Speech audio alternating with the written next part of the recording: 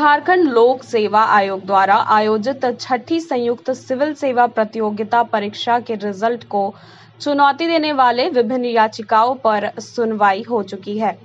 Jharkhand high court ने नया फैसला लिया है। झारखंड हाई कोर्ट के जस्टिस संजय कुमार द्विवेदी की अदालत ने छठी जेपीएससी की मेरिट लिस्ट रद्द करते हुए 326 अभ्यर्थियों की नियुक्ति को अवैध करार दिया।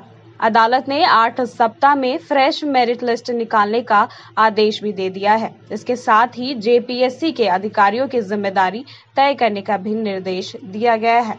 इस पर नाराज़गी दिखाते हुए सफी इमाम ने कहा है कि जेपीएससी की सभी परीक्षाओं में गड़बड़ी व भ्रष्टाचार हुआ है। छठी जेपीएससी में भी 2016 से ही विरोध हो रहा है। इसमें आरक्षण का पालन नहीं होना, विज्ञप्ति के अनुसार 15 गुना का पालन नहीं होना है।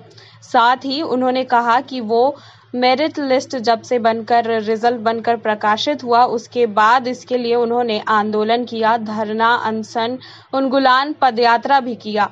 फिर भी हेमंत सरकार के नियुक्ति दे दिया, जो युवाओं के साथ विश्वासघात किया है।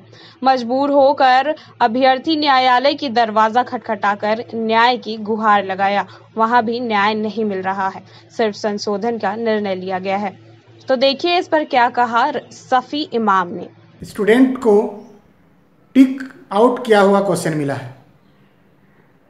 इसमें भ्रष्टाचार की बू आती है। ये दो साल पुराना प्रश्न पत्र पर ही एग्ज़ाम लिया गया था। लगातार आंदोलन के साय पर ज़ोर ज़बरदस्ती से रघुवर सरकार ने इसको नियुक्ति, मेंस परीक्षा लिया था और नियुक्ति प्रोसेस को आगे बढ़ाया था, काफ़ी विवाद के साथ। हम लोग तभी से काफ़ी लंबे समय से संघर्ष कर रहे हैं, लड़ाई कर रहे हैं, आंदोलन कर रहे हैं। इसके लिए अनशन, धरना, भूख हड़ताल हम लोगों ने क्या नहीं किया है। इसके लिए 550 किलोमीटर से भी ज़्यादा, लगभग 600 किलोमीटर तक, उलीहातू से भोगनाडी तक हम लोग उलगुलान पदयात्रा भी किया।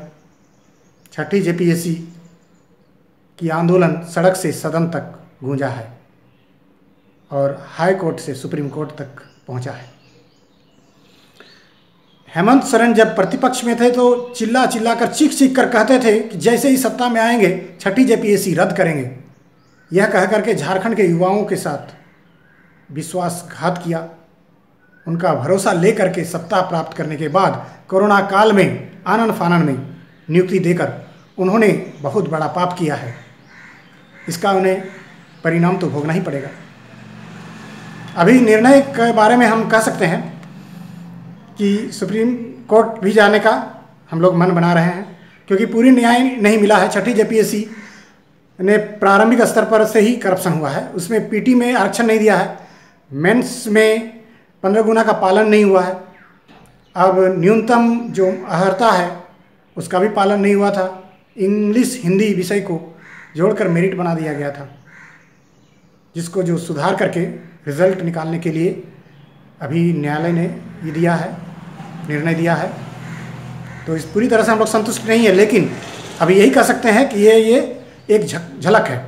अभी इसके लिए लंबी संघर्ष करना होगा, ज़रूरत पड़े तो सुप्रीम कोर्ट भी जाना होगा, और सड़क से सदन तक एक नया उलगुलान फिर से करना होगा।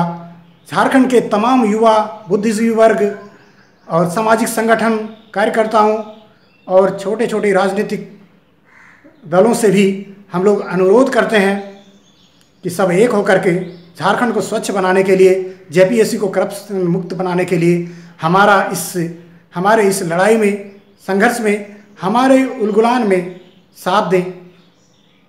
जोहार, धन्यवाद। इमाम सफ़ी बोकारो से।